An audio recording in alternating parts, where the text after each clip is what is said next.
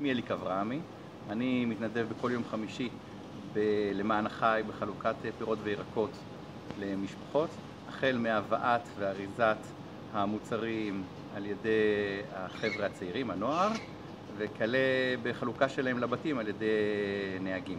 אני חושב שכל אחד צריך למצוא את הפינה שלו שבו הוא מתנדב וכל אחד צריך להתנדב. בהצלחה.